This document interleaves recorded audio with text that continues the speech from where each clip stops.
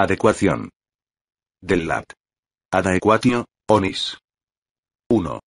F. Acción de adecuar o adecuarse.